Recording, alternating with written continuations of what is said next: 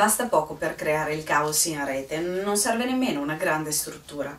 D'altra parte è successo così anche per l'Islanda, laddove delle notizie reali e molto utili sono state mescolate in un qualche modo con delle mistificazioni, con bufale e con disinformazione. Ora è il turno della Grecia, dove sta avvenendo esattamente la stessa cosa. Uno dei rischi maggiori per chi si muove in rete è proprio quello di cominciare ad alimentare il circuito dei cosiddetti fake, cioè dei falsi, rilanciando degli articoli o come dire in un qualche modo dei testi, dei documenti talmente verosimili da poter essere presi per veri. Ma tenuto conto di quello che è il regime mediatico di fronte al quale ci troviamo, abbiamo talmente tanta sete eh, che rischiamo di berci anche ciò che non è informazione, ovvero ciò che priva di riscontro o di fonte. Ma lasciamo parte ciò che eh, inevitabilmente rischierebbe di trasformarsi in polemica, dato che la volontà è quella di informare. E quindi torno sull'argomento della Grecia.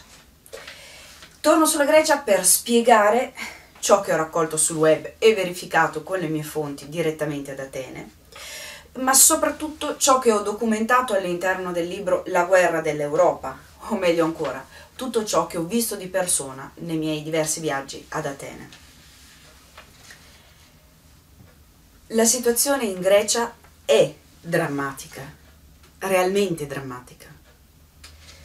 Non mi soffermerò sulle privatizzazioni, sui tagli, salari, stipendi, pensioni o sulle cosiddette misure di austerità o sulla trappola cosiddetta degli aiuti che ho già descritto ampiamente, ho già, come dire, in un qualche modo illustrato all'interno del libro. Vorrei invece oggi aggiornare quello che è il quadro complessivo della situazione con l'evoluzione che c'è stata in Grecia negli ultimi mesi. Durante l'inverno inevitabilmente la situazione si fa più dura con tutti. E si fa più dura anche semplicemente a causa delle condizioni climatiche con un aumento molto oneroso delle tasse rispetto al gasolio, l'impiego di questo metodo per riscaldarsi, per il riscaldamento, è diminuito, pensate, dell'80% rispetto all'anno precedente.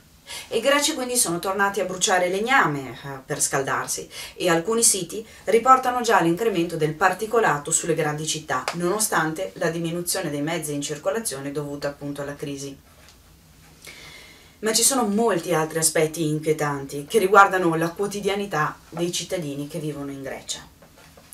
Da mesi parlo delle decine di migliaia di ateniesi che vivono all'aperto nei parchi perché le banche si sono portate via la loro casa, dal momento che avendo perso il lavoro o avendo salario o stipendio eh, tagliato, falciato, beh, non c'è più modo di poter garantire il pagamento del mutuo.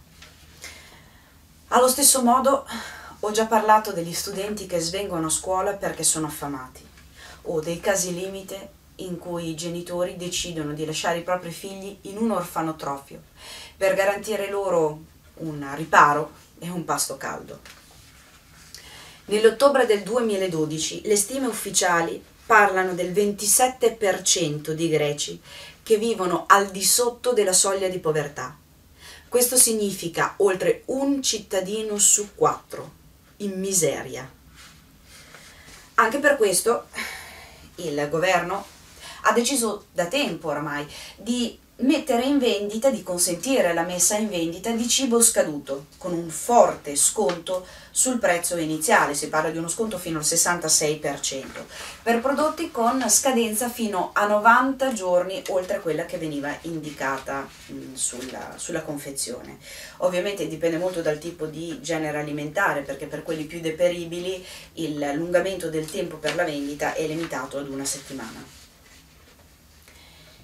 I greci hanno fame, specie nelle grandi città.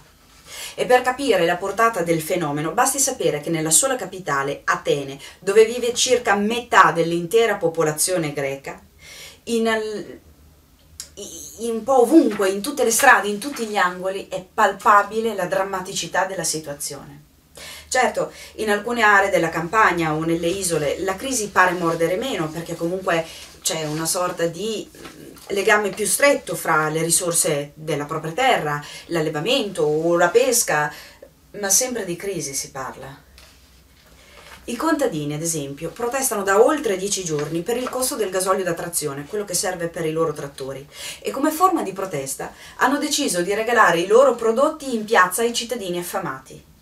Un'altra forma di protesta messa in atto sempre dai contadini è il blocco temporaneo delle autostrade, durante il quale per l'ora di tempo circa in cui il tratto viene chiuso, gli agricoltori spiegano la loro situazione, la loro condizione e regalano ciò che coltivano in quella zona agli automobilisti che sono costretti allo stop. Per i lavoratori che protestano sono iniziati i tempi duri. Già il 24 gennaio scorso le forze di polizia hanno applicato un decreto del Tribunale che definiva illegale lo sciopero, lo sciopero in corso di alcuni lavoratori. Quindi il governo, con un decreto che risale ai tempi delle dittature, ha obbligato i lavoratori a riprendere il lavoro. L'alternativa sarebbe stata licenziamento o galera. Per i cittadini che manifestano dire, il loro dissenso e la loro rabbia, c'è un trattamento che può ricordare per molti versi la tortura. Botte, legnate, percosse, alle persone che vengono arrestate, già arrestate. Non sarà certo un caso se ad esempio nel 2012, in occasione della parata per la festa nazionale dell'indipendenza greca, il governo ha deciso di schierare sul tetto del Parlamento dei cecchini che miravano, puntavano direttamente alla popolazione. Pure la sanità in Grecia non è più garantita. Chi perde il lavoro perde anche la copertura sanitaria. Ma in ogni caso la compartecipazione alle spese mediche o all'acquisto dei farmaci diventa un lusso perché ha un'entrata di poche centinaia di euro al mese e sono tanti. Quindi hanno cominciato a formarsi lunghissime code, mh, mm, code di, di persone che necessitano di cure, di farmaci, di controlli e che scelgono di farsi assistere, decidono di farsi assistere dalle organizzazioni non governative presenti nelle capitali, una delle quali, fra l'altro, Médecins du Monde, secondo The Guardian, a fronte di un vero e proprio disastro umanitario greco, ha inviato una lettera formale all'ONU con la richiesta di intervento. Ma nel frattempo le farmacie scioperano sempre più spesso. Mm, scioperano non chiudendo i battenti, ma scioperano rifiutando le prescrizioni mediche per i farmaci, il cui costo diventa così interamente a carico di chi ne ha bisogno. Anche la libertà di informazione è stata stuprata in Grecia. È l'ex ambasciatore greco in Canada, Leonidas Chrysantopoulos, che intervistato su The Milestone a dicembre 2012, dichiara che in Grecia non esiste più la democrazia e aggiunge che sono state fissate delle linee guida su ciò che può essere tollerato da parte dei giornalisti e ciò che non lo è. Chi trasgredisce viene licenziato, molestato da agenti governativi o arrestato. È il caso di un giornalista della TV di Stato licenziato in tronco per aver fatto passare il filmato del primo ministro mentre veniva fischiato lo scorso 28 ottobre. Ne è una riprova. La vicenda del giornalista greco Kostas Vaxevani, il giornalista arrestato e processato per direttissima per aver pubblicato la lista alla garda dei detentori greci di conti correnti segreti in Svizzera e quindi potenziali grossi evasori. Questa è la situazione reale oggi in Grecia in una Grecia violentata dalla grande finanza internazionale, messa in ginocchio dai cosiddetti piani di salvataggio applicati dai governi, approvati dal Parlamento e imposti dal Fondo Monetario Internazionale, dalla Commissione Europea e dalla Banca Centrale Europea. E quindi, quando in rete incontrerete qualcuno che vi dice di aver appena parlato con uno o più amici greci che gli hanno raccontato che è tutto falso, che non è vero che i greci stanno soffrendo, che il paese non è in ginocchio, ricordategli di rispondergli che se non sono trolls, sono sicuramente parte di quell'1% capace addirittura di trarre beneficio dalle crisi, di quell'1% che sta bene oggi in Grecia, in Italia, in Europa, negli Stati Uniti, o meglio in tutto il mondo globalizzato ma a noi interessa il 99%.